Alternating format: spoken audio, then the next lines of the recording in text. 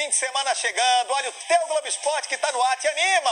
Paulo Souza chegou, já viu o que precisa e agora o Flamengo vai pro mercado.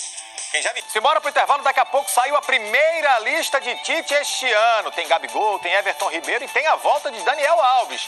É ano de Copa do Mundo, minha joia. E o que é que o Flamengo tá procurando no mercado? Paulo Souza tá na área e já sabe o que quer.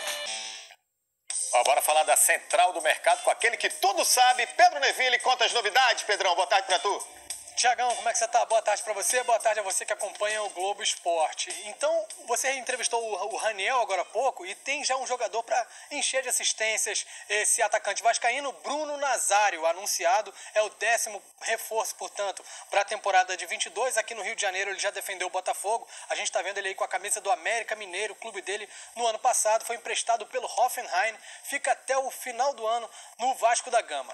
E o Atlético Mineiro já tem treinador novo, Antônio Mohamed, conhecido como El Turco. A gente está vendo aí, apesar do apelido, ele é argentino, 51 anos, está livre no mercado desde o fim de 2020, fez carreira como treinador principalmente no futebol mexicano, ganhou títulos nacionais por lá no Tijuana, América do México, Monterrey, também já foi campeão da Sul-Americana pelo Independiente em 2010 e vai assumir o Atlético Mineiro provavelmente no início da semana, quando também chega o Diego Godin, contratação zagueiro, 35 anos, capitão da seleção seleção uruguaia. E como é que está o Flamengo no mercado? Como é que está a movimentação? A gente vai saber agora com a repórter Karen Duarte. Mal chegou, o técnico Paulo Souza já identificou, junto com a diretoria, as carências do elenco do Flamengo. O clube planeja pelo menos três contratações para essa temporada: um goleiro, um zagueiro canhoto e principalmente um volante. Aliás, o novo treinador até falou sobre o que o time precisa melhorar nesse setor do meio-campo a mobilidade que eu, tive, que eu vi nos últimos anos é, é precária, deve melhorar, vai melhorar e vamos trabalhar nesse sentido para que os jogadores que nós temos hoje, que acreditamos bastante, eh, tenham um nível nesse momento do jogo que nós acreditamos que podem, que podem, eh, que o podem fazer. Para suprir essas necessidades do meio para trás, o Flamengo busca oportunidades no mercado. Por exemplo, jogadores que estejam em fim de contrato e queiram deixar seus clubes. A diretoria quer fazer contratações pontuais e que não exijam um alto investimento. Ontem, o clube anunciou a compra de metade dos direitos econômicos de Thiago Maia, por cerca de 25 milhões de reais, junto ao Lille da França. O volante agora tem contrato com o Flamengo até 2026.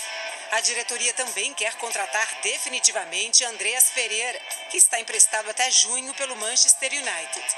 Já a renovação do uruguaio Arrascaeta, que tem vínculo até 2023, ainda não saiu é uma preocupação em função do tamanho do jogador, da importância do jogador, mas que eu tenho certeza absoluta que nós vamos encontrar o caminho e, e ele vai ficar aqui por bastante tempo com a gente.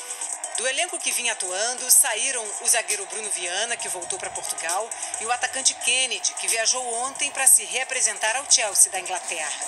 Pires da Mota, que foi pouco utilizado em 2021, foi vendido para o Cerro Portenho do Paraguai. Já o goleiro César se despediu hoje depois de 12 anos no clube. O Flamengo ainda emprestou o volante Hugo Moura para o Atlético Paranaense e o atacante Vitor Gabriel para o Juventude. Entre partidas e possíveis chegadas, o Flamengo tem o desafio de se fortalecer para 2022.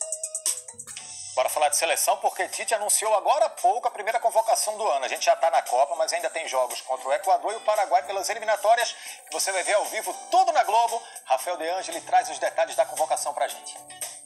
Olá a todos, 26 convocados na primeira lista de 2022 para os Jogos da Seleção Brasileira. São duas partidas pelas eliminatórias sul-americanas, no dia 27 contra o Equador, em Quito, fora de casa, e depois no dia 1 de fevereiro no Brasil, em Belo Horizonte, contra a seleção do Paraguai. Vamos à lista. Goleiros: Alisson, Ederson, o Everton, do Palmeiras. Lateral direita: Emerson Royal e Daniel Alves está de volta. Na lateral esquerda, Alexandro e Alex Teres. Zagueiros, Militão, Gabriel Magalhães, Marquinhos e Thiago Silva. No meio campo, Bruno Guimarães, Casemiro, Fabinho, Fred, Gerson, Everton Ribeiro, Coutinho e Lucas Paquetá. E no ataque, Anthony, Gabigol, Gabriel Jesus, Matheus Cunha, Rafinha, Rodrigo e Vinícius Júnior, que está de volta também. Ele não estava originalmente na convocação, a última do ano passado, mas voltou a ser chamado depois que o Firmino se machucou naquela mesma convocação do fim do ano passado. O Vinícius Júnior até se afirmar e, e, e ter a sua qualidade comprovada no Real Madrid a sua terceira temporada. Então, esse processo nós temos que ter um cuidado. Assim como ele jogou muito, e aí a referência no jogo contra a Argentina, ele foi destaque nosso, e que já teve sim esse desempenho tal qual ele estava tendo no Real Madrid. Tite também falou sobre a não convocação do lateral esquerdo Renan Lodge. Segundo ele, a informação que chegou é que o lateral do Atlético de Madrid não tinha se vacinado.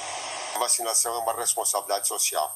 Ela é minha e ela é com que a pessoa que está do lado. O Renan Lodge, ele, ele teve a primeira dose né, de, de, de vacina, uh, acho que agora no dia 10, né, doutora Andréia?